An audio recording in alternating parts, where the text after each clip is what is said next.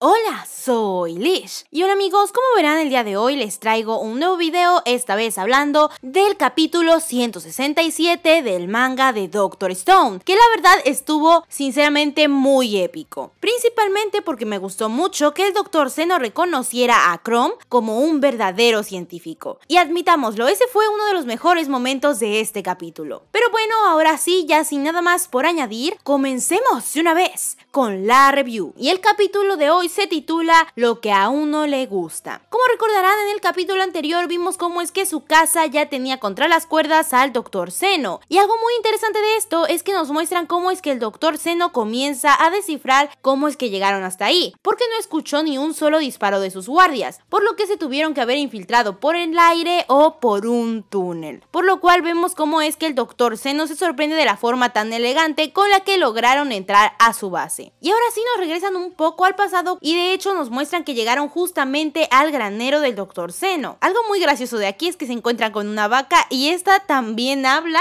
Como recordaremos, Suika parece comunicarse un poco con los animales, pero bueno, es un detalle que me dio bastante risa. Por otro lado, también mencionan que ahí está el maíz dentado amarillo. Y como recordaremos, esto era algo muy importante ya que el Dr. Zeno tenía varias plantaciones. Y con esto se nos demuestra la cantidad que tiene, ya que incluso lo usan como comida para los animales. Después continuamos viendo la infiltración que están haciendo, en donde se encuentran con dos guardias. Primero que nada entra Suika, la cual los distrae, debido a que como sabemos parece una simple sandía, y por otro lado también llega Gen al darse cuenta de que sus amigos ya llegaron y los engaña diciendo que se siente mal y que va a vomitar. Cuando vi la primera escena pensé que realmente lo iba a hacer estilo Dewey de Malcolm, pero realmente no y simplemente estaba vomitando cartas, pero parecía como si sí lo estuviera haciendo. Y con esto Kohaku y Hyoga logran derrotar a estos dos guardias, aunque realmente el guardia que derrotó Kohaku parece estar disfrutando que lo hayan derrotado, pero bueno, no hablemos de eso. Ahora sí, continúan avanzando por la base del Dr. Zeno y se encuentran con cinco guardias más. La verdad es que desde aquí empecé a pensar que realmente tienen muchísimos militares. El Dr. Zeno nos había dicho que eran pocos, pero realmente ya van muchos, porque como dije aparecieron dos guardias, más estos cinco ya son siete. Y como recordaremos en el barco a había aproximadamente otros 5 o 4, por lo cual con eso ya llegaríamos a tener aproximadamente entre 9 y 10 guardias, además de la Nikki del Dr. Zeno y de Stanley, por lo cual eso de que eran pocas personas, la verdad es que ya no se los estoy creyendo tanto. Pero bueno, lo importante que pasa cuando se encuentran con estos guardias es que llega a su casa y ya no nos muestran qué es lo que sucedió, pero obviamente su casa terminó por derrotar a todos estos tipos. Y eso es algo que me hace dudar mucho, ya que técnicamente en este momento en la base del Dr. Zeno no hay nadie que pueda derrotar a su casa, e incluso pienso que tampoco hay alguien que pueda derrotar a Hyoga, por lo cual se me hace un poco extraño que ellos realmente quieran irse de la base si es que pueden dominarla, aunque lo más probable es que sea porque saben que en algún punto va a llegar Stanley y todos los que fueron a atacar el barco, y que de alguna forma al saber esto hayan tomado la decisión de que sería mejor irse de ahí para que así no haya otra pelea en la que puedan ser derrotados. Y aquí es donde comienza lo más importante, ya que una vez que tienen al Dr. Zeno vemos cómo es que Kron menciona que la ciencia es genial y que esa era la ciencia de la gente del siglo XXI. Por lo cual al escuchar esto vemos cómo es que el Dr. Zeno se da cuenta de que Kron también es un científico. Y desde aquí va a comenzar una de las cosas que más me gustó del capítulo, ya que vemos cómo es que empieza a reconocer a Chrome. Por otra parte, algo que me pareció bastante gracioso es que al parecer el Dr. Zeno se parece mucho a Senku, al menos por el peso, como recordaremos él pesa lo de una pluma y aquí vemos cómo es que Kohaku solamente con un brazo levanta al Dr. Zeno. Así que creo que sí, tienen aproximadamente el mismo peso o algo por el estilo. Y con esto llegué a la conclusión de que también el Dr. Zeno es un debilucho. Algo muy importante de todo esto es que nos explican el plan que tienen para que los que estén en el castillo no los puedan seguir. Y es que van a explotar una bomba una vez que todos ya hayan pasado al otro lado del túnel. Para que así la entrada quede sellada por los escombros y no los puedan seguir. Una vez que todos los que estaban en la base del Dr. Zeno pasan el túnel, Chrome y el Dr. Zeno son los últimos en pasar por él, ya que ellos son los que van a activar la bomba para que así el vagón por el que van sea impulsado por la explosión y logren llegar hasta el otro lado. Pero sin previo aviso, la explosión no funciona del todo bien, ya que de ambos lados caen escombros y ellos quedan encerrados en medio del túnel.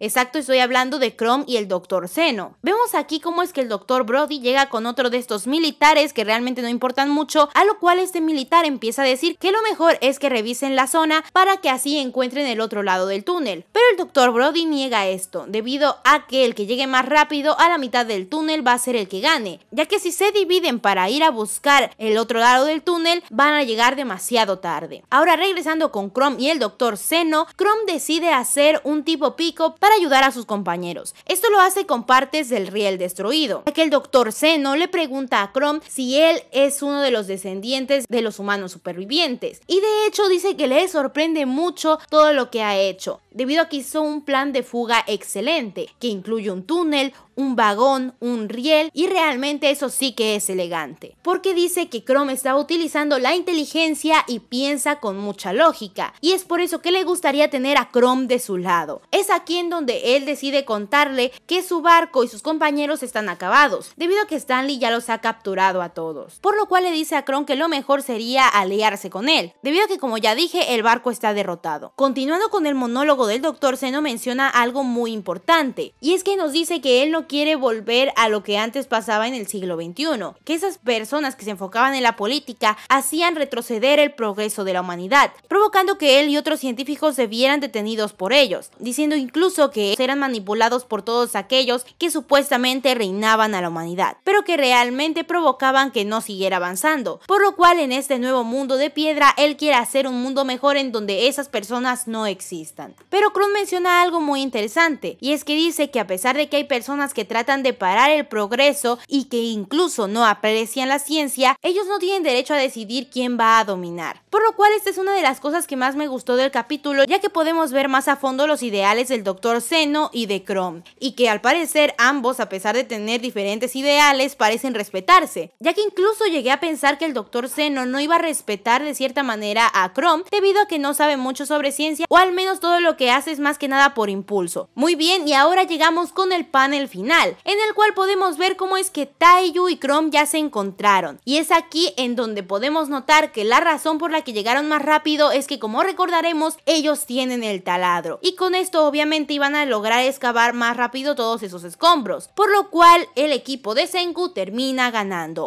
sea, el reino de la ciencia triunfa. Y eso es algo muy importante y que tenemos que analizar. Y es que Chrome termina gritando al teléfono, Senku lo hemos capturado, tenemos al rey enemigo al doctor Zeno. Algo muy importante de esto es que antes para comunicarse por medio del teléfono decían todo en clave, para que así el doctor Zeno y todos sus aliados no lograran reconocer nada de lo que decían. Claramente una de las razones por las que en este momento ya nos están cuidando de eso es porque ya tienen al doctor Zeno y están más confiados.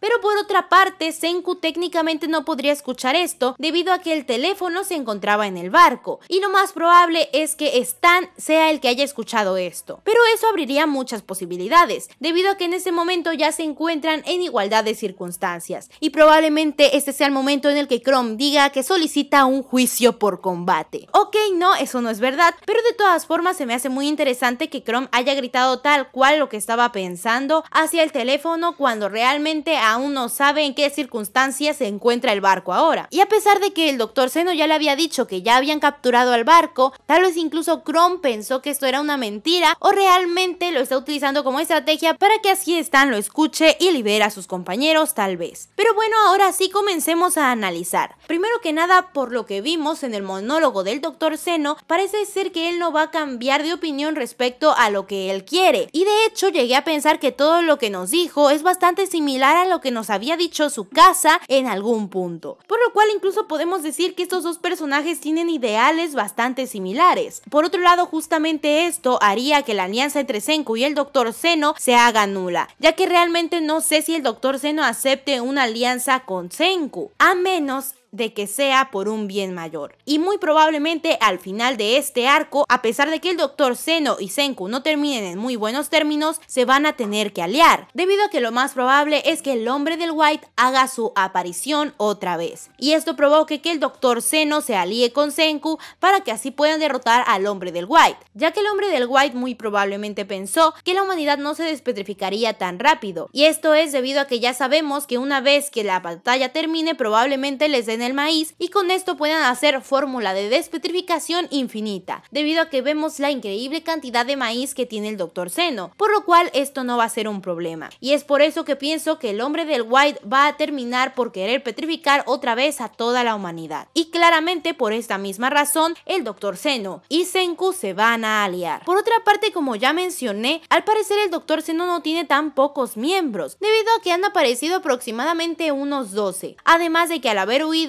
lo más probable es que haya más personas, por lo cual mi teoría es que aproximadamente hay 50 personas en el reino del Dr. Zeno. Y esto es debido a que Gen nos había explicado que el cerebro humano solamente puede recordar aproximadamente 150 nombres, por lo cual podríamos decir que ese sí es un número grande. Y si digamos que el Dr. Zeno tiene la tercera parte de estas personas, podría considerarse que no son tantas. Y esa es la razón por la que el Dr. Zeno en un principio nos había dicho que su reino era de pocas personas. Bueno, esto ha sido todo por el capítulo de hoy. Espero que les haya gustado mucho esta review. No olviden darle like y suscribirse si no lo están, además de dejarme en los comentarios sus teorías respecto a todo lo que va a pasar en este arco, ya que muy probablemente estemos llegando a su final. Pero bueno, antes de despedirme, muchas gracias a todos los miembros del canal por darnos tanto apoyo. Y muchas gracias a Chigaraki Tomura, Luisma Acosta, Bárbara Ninao, Robert Rodrick, Underblade, Sergito Sukehiro Midoriya, Lestat Almora, Paolo Yacta, Mognistar, Kaleli Dinerillo y Alexander C. Ahora sí, ya sin nada más por añadir, bye bye.